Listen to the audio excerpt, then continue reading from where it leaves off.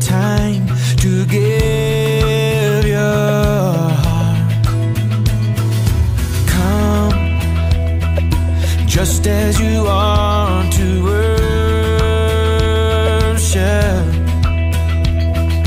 Come just as you are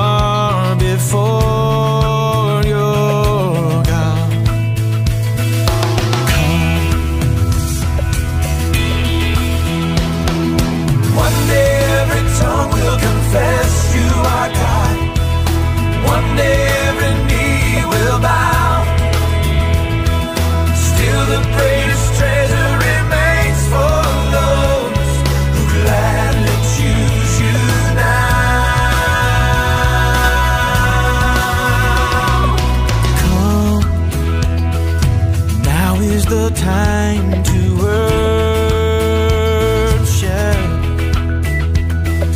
Come, now. ginamit ko ay yung Happy Skin. And then, nag-blush on lang ako. Tapos yung pants na day cream. And then, powder. So, let's go! You will be my strength. You will lift me up. You will be my portion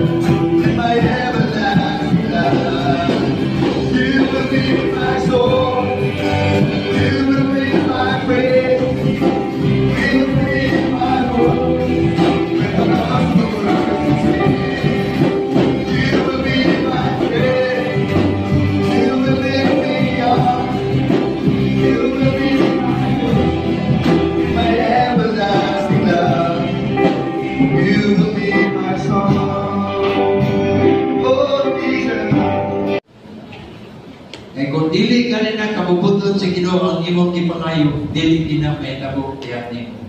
Dili gina siya padawat nimo.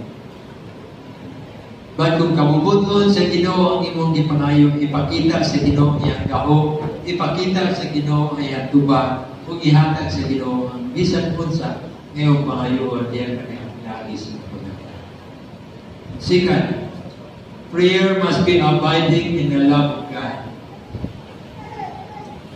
Kung galing na sa John chapter 15, Ikaw sa linang nagtutog siya siya matinunan. Wala'y mahim, wala tayo mahimo kung mahimulan kita sa punuan, which is ang aduhan Ginoo. Wala tayo mahimo kung wala ang Ginoo sa tuwang kinabuhi soul. Prayer must be abiding in the love of God. Nga atong pag-abot pinasikan diha sa atong pag-igugma sa ato ang Ginoo. Ikatulo, prayer is not an emergency measure that we turn to when we have a problem. Usahay man God, kung nanatay buka kung dagkong problema ay hapata mo dangog sa Ginoo sa pag-apo. Kung wala pa ganit tayo mga balatian, kung wala pa ganit tayo mga dagkong pagsulay sa itong kinabuhi, isip kuwing lang ta, wala kita pag dili ganit ta usahay magkaroon una-una pag-ampo sa Ginoo.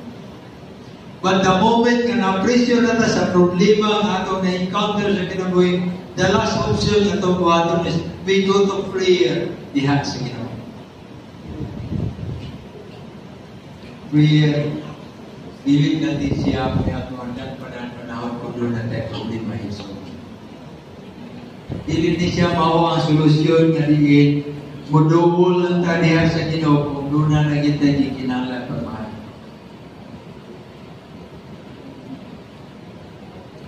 For real prayer is a part of our constant communion and worship with God. Igsuon mo ni ang gusto nga may tabog sa Ginoo diha sa tumabag Gusto sa Ginoo nga kita mahimo nga ipigpigo sa tumabag ako diha ganiya kung kanunay ta. Nga di magahimo sa atong pag-ampo diha niya. Make a prayer igsuon a lifestyle himuwa nga ang pag-ampo kabahin sa imong kinabuhi igsoon. Kung makahimo ta dili ta makabiya pagkaon sa matag adlaw, hinuon himuwa usab ang pag-ampo nga dili ka makahimo sa tanan imong pagabuhaton kung dili priority nimo ang pag-ampo diha sa Ginoo. Kaya pag-ampo Ginoo mo na naghatag ka na to kusog, naghatag ka na to og gahom nga mabuhat na to ang mga dagkong butang diri sa tuwang kinabuhi nga which is diha sa Ginoo pinagi itong pagsalig ang Ginoo magtao. Dunay mga butang mo sa nga di na to makaya. Bisag unsaon na to pag paningkamot sa itong kagalingon, bisag mayong kang eksperto kaniya na nga mga butanga, pero dunay panahon nga dili nimo mahimo. That the time, Kani nagminumdum ang ginoo kanimo, panahon na, mamubalik ka mo panahon na, mamudulog ka mo mubalik, diha sa aming mga pag-ampun sa ginoo. In conclusion, may insuon, si Charles Swindoll o Charles Spurgeon, siya, Whenever God determined to do a great work, He sent His people to pray. Wa-agree ba mo niya na? Whenever God determined to do a great work, He sends His people to pray.